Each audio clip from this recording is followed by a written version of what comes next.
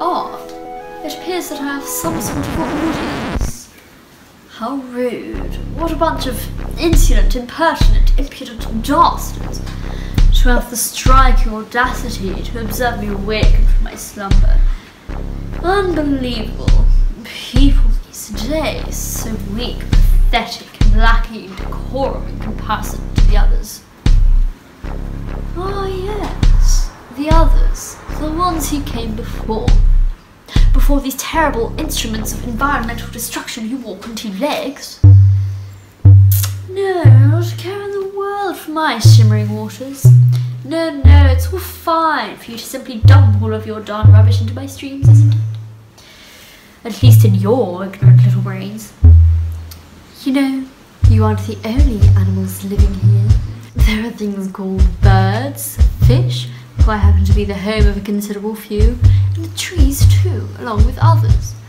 I'll wager that you've never heard that before with your incompetency.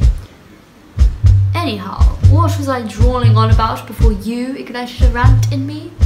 Oh, of course. The ones who came before.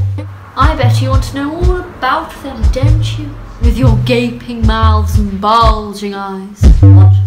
Have you never seen water rushing down a bed of sand and stone? No?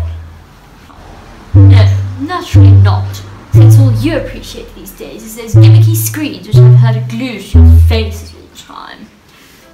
Well, the ones who came before you with your unsophisticated, ghastly hooded garments, God knows the name of them, were civilized and illustrious peoples.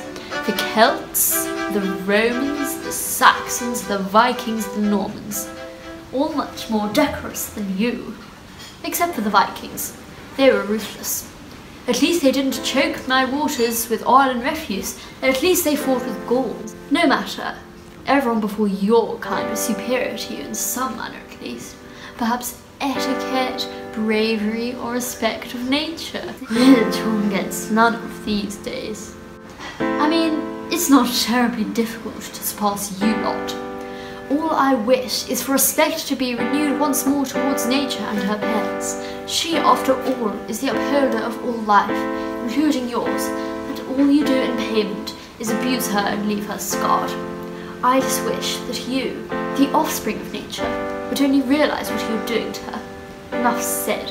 Now, stop drooling at my grandeur, or, if you must, have a picnic. Just stop standing there uselessly.